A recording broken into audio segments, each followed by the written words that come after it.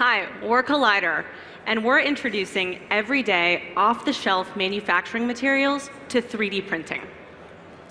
Imagine you have an idea, an idea for a part that could be a new product, that could improve a process on your factory line, or that could make something you're already selling even better.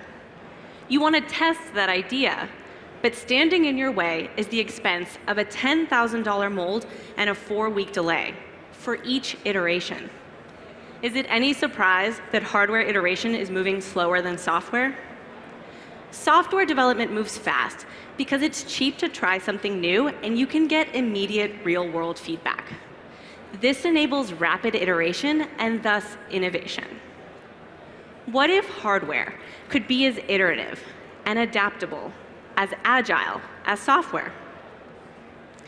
The current methods for making production parts are injection molding, which is slow and time-consuming, and 3D printing, which is faster but ultimately makes weaker parts. New entrants, carbon and desktop metal, are at the cutting edge of 3D printing, driving towards production quality. Collider is part of this continuum, but we're doing something different. We're introducing Orchid, a machine that makes parts in off-the-shelf manufacturing materials. The future of 3D materials choice is here, with plastic, silicone, and rubber. And today, I am thrilled to announce that this machine makes parts in metal. We're starting with copper and stainless steel. Let me show you how it works. Orchid's process is so simple. It 3D prints a shell. It injects the shell, and then you dissolve the shell away in a hot water bath. In the case of metal, you'd sinter it in our furnace. The process takes just hours. Imagine having an idea in the morning and testing it in the afternoon in the exact materials that you'd ship to a customer. Think about how much that de-risks your design process. You have a real-world test environment at your facility every single day. I think so. Let me show you a video of our patented process in action. We're accessing Collider's proprietary software through a web browser. We upload an industry standard design file, and then Collider software takes over to design a mold for your part. Then Orchid uses continuous DLP to print a hollow shell. This shell is completely smooth with no visible lines. Then Orchid injects the shell with an off-the-shelf manufacturing material that chemically cures to a solid part. This is a steel metal slurry, but it could easily be anything in our catalog. The process is exactly the same. Once the build cycle is complete, you remove the build platform from the machine and dunk it in hot water. The shell material dissolves away. Can we switch to Graham with the live demo?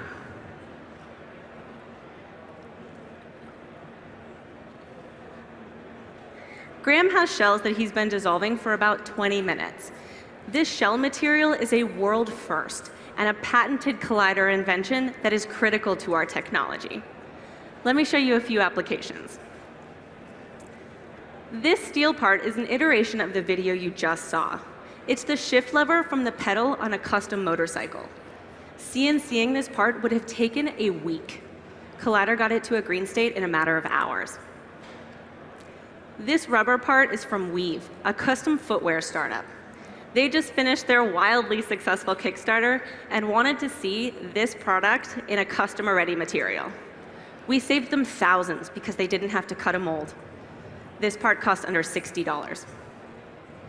And finally, custom prosthetics can cost thousands, so amputees usually buy uncomfortable, one-size-fits-most liners. Alongside a national prosthetics company, Collider can change the quality of someone's life with customization. This silicone liner is a perfect fit, and it retails for under $200. Can we go back to the slides? Thank you. Orchid is 5 to 60 times faster, 3 to 125 times less expensive, and has a material catalog of hundreds. Orchid is so simple to run, no special ventilation or skilled labor required. You just plug it into the wall. When you're ready to kick off a print, you snap in the materials cartridge, push a button to start, and our software takes over.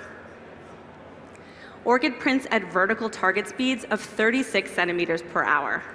The build volume is about the size of two shoe boxes, and you can fill it with multiple parts, with different parts. It's totally up to you. As I'm sure you can imagine, Orchid has applications across verticals.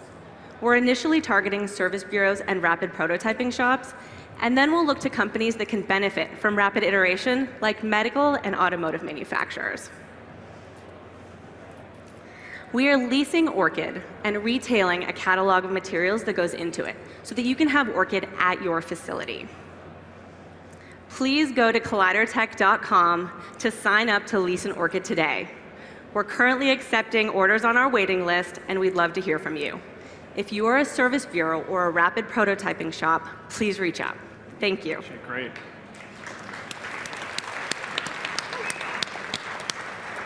Judges, who has questions?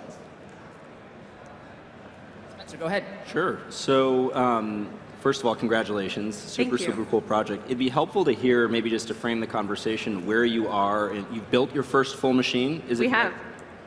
Oh, this is just Orchid. one? Just one, or do you have? Do any customers have the product today? Yep, so we have a couple of machines at our own facility. We don't have any machines at customer facilities just yet. We did just open up uh, requests for the beta program, and uh, we have a lot of initial interest. We have been making parts, though, for customers, both as kind of tryouts to determine whether or not it makes sense for them to purchase a machine, as well as some parts for pay. Got it. Okay. So one of the um, questions that ha- comes up in service with service bureaus is the question around IP protection Mm-hmm. for enterprises that want to make sure that their like real ch- clear assets are protected. Can you talk a little bit about how you handle that?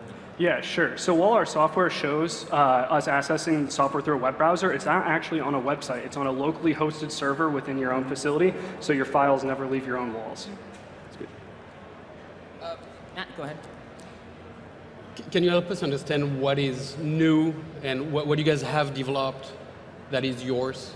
Yeah, sure. So this uh, concept of basically printing uh, a mold, a very material efficient mold, and injecting it inside of it as part of our intellectual property is around that. Uh, also, a new com- uh, invention here is the material that we use to print that mold. So it's a material that can cure nice and rigid, can withstand the pressures of injection, uh, but also maintains its water solubility, as you guys saw. Um, so those are kind of the, the key uh, developments here, as well as how we produce the continuous pull uh, enables great surface qualities and speed. Mario, you had a question. Yeah, I ha- I have a question about the economics of the machine, leasing it, and the materials you buy, and at what point do I, I'm okay waiting a week and going for injection molding, for example? Sure. So our breaking even quantities are at about 2,000 parts, and if you're ordering more than 2,000 parts, absolutely go cut a mold. Um, but what we're doing, we're targeting service bureaus initially so that customers who need one or two or three parts can order from a third party. And then when the unit economics shift to having one in their facility, then they can lease a machine. Okay. Wait, so just to be clear, the stuff that's on the table is stuff that you, the machine has created, or that's like samples of things that Correct. Oh, do you guys want to like try it out? Can we? Oh, yeah, take them. Here. Awesome. Well, that's happening. Other questions? Yes. Yes. Can you just also speak to the sort of uh, strength and sort of uh, fault tolerance of, of the work you do?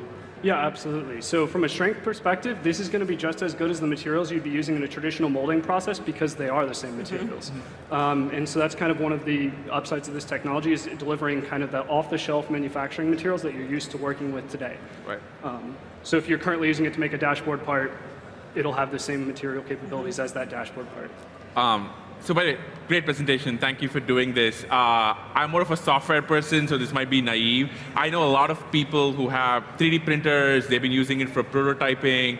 So, where does the line end between like a 3D printer that you can buy, uh, uh, like off the shelf, and where do you guys come in? Like, and where is that? How does that market look like? Yeah, sure. Um, so with this technology, basically what you're looking for is primarily 3D printing as it sits today is primarily going to be used in a prototyping use case, uh, with the exception, as Kaki mentioned, of some new entrants into the market who have some really fantastic materials and teams. Um, having said that, you know, we're kind of in that same vein of production, and as Kaki said, if you order 2,000 parts, it makes sense to go with our technology. Honestly, if you're looking for the same materials, you can use this in the same way that you're working with 3D printer today with similar price points. Matt, you had a question. Yeah, maybe tell us a little more about your backgrounds. So I assume you spent some time in the 3D printing world. Yes. Uh, so I've been working with industrial 3D printers since I was 15. Uh, I previously worked for Shapeways as a service bureau, um, working on technology development there, as well as working with manufacturers who are looking to adopt that technology. That work is actually what led to the development of what we're doing here. I'm the business half of the equation, so I have a business and law background, and I've experienced scaling B2B companies. Go ahead. Yeah, I have a question. Uh, maybe you have mentioned, but is there any materials that for which this does not work? So we work with a super wide variety of materials is, is a great question. So fo- currently we're focused primarily on the thermoset class of plastics. So things that are liquid at room temperature that chemically react with one another and cure inside of the molds. Um, so tons of parts that surround us are made that way.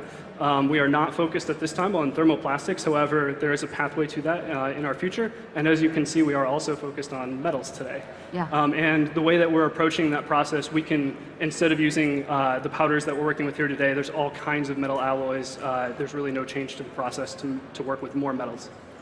Are you at all supply constrained in terms of materials or the materials you can deliver to your customers, or is that limitless? Yeah, so because we're working with pre-existing supply chain and materials that have been mass produced for decades, we're in a really good position. We don't have to worry about, you know, scaling up manufacturing of a custom photopolymer with the exception of the shell material.